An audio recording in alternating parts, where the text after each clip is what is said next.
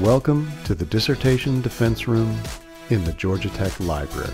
Located on the fourth floor of the Price Gilbert Library building, this room is designed for Georgia Tech PhD students who need a place to present and record their dissertation defense. This room features four large monitors for extended desktop display. Bring your own laptop to connect to the HDMI ports or use the in-room PC. Connect and interact with remote participants using our built-in BlueJeans platform. The ceiling microphones will pick up your voice from any point in the room. Adjust the camera to record exactly the view you want, and adjust the displays to show your images, your presentation, and your remote participants.